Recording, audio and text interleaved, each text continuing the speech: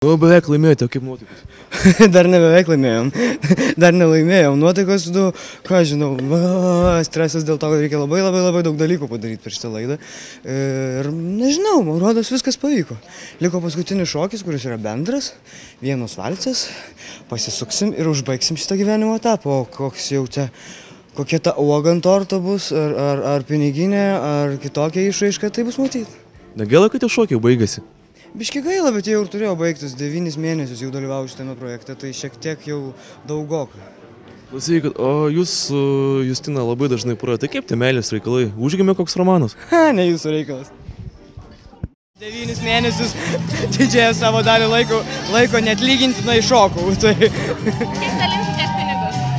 kaip dalinsimės pinigus? Kažkaip pasidalinsim, jau nesiliksim. Matyt per pusę. O rytoj yra mamos apdovanojimai, ar spėsit pasiruošti jiems? Čia pergalę. Na, kadangi rytoj mamos apdovanojimuose aš pasirodymą pats neturiu, mes su Justina tik tai pristatysim, pristatysim uh, vieną nominaciją, o šiaip, o, o šiaip tai su grupė Liūdnis Libinai esame nominuoti alternatyvios muzikos uh, srityje. Tai uh, galbūt teks užlipti ant scenos pasiimti prizą, bet galbūt, nežinau. Koks kitas jausmas laimėjus? Nu geras jausmas, geras jausmas. Devynis mėnesius arėm ir dabar laimėjom. Labai smagu. Pergalę? Švęsim, pirmiausia, aš norėčiau nusiprausti visą šitą dalyką, kuris vadinasi braunas arba šimeris. Sakau, kad eisiu į dušą pirmiausia. Dabar pasvaras, tai jūs pora ar ne pora? Ne jūsų reikalas.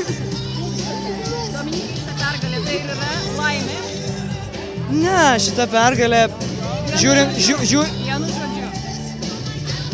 taip, taip, taip.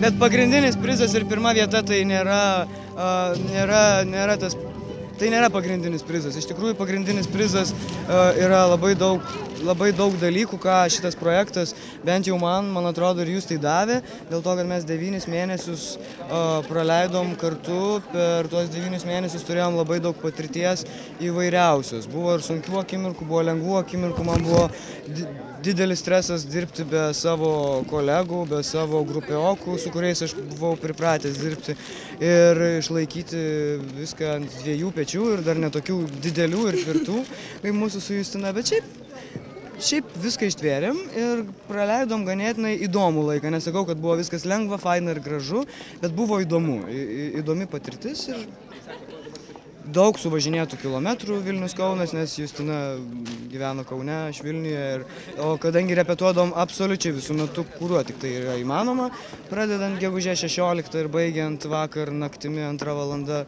tai Tai suvažinėta daug buvo, išmoktas kelias mintinai. At, gal matosi, tikiuosi, kad matosi, bet prizas parodė, kad galbūt matosi. Tai kaip pinigais dalinsitės?